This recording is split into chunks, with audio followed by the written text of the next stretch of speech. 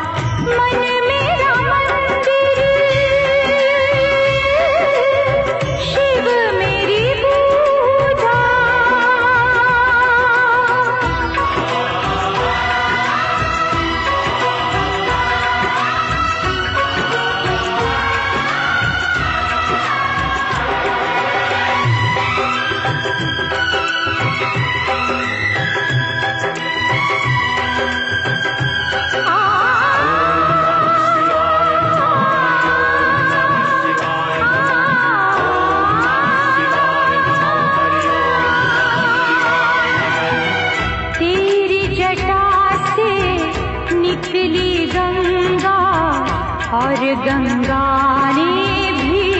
भीष्मदी